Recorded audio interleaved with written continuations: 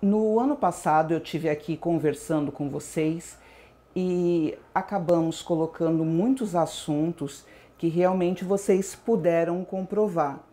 É o falecimento de nomes muito importantes, tanto no meio artístico como aí na parte do futebol também, é, as instabilidades políticas e até mesmo o comportamento do nosso presidente, que com suas visões polêmicas acabou eh, se vendo envolvido com muitos problemas, muita chateação, tendo sempre aí pessoas que nem sempre o apoiam. Até mesmo muitas pessoas, como eu já havia dito, que o apoiavam 100%, acabaram deixando um pouco de lado essa credibilidade.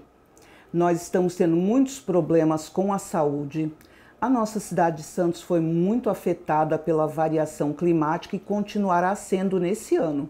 Como a gente vai ter um ano de muita água, muita chuva, muita enchente, a gente ainda tem que olhar muito essa preocupação com os morros e com as áreas que são constantemente afetadas e correm riscos. E isso já foi falado no ano passado também.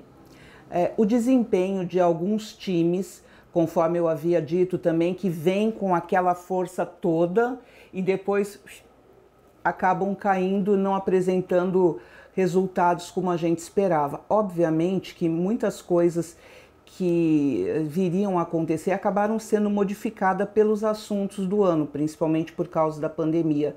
Mas é interessante observar que tivemos aí bons acertos e quem quiser comprovar é só acessar o site e ver o que já foi publicado antes.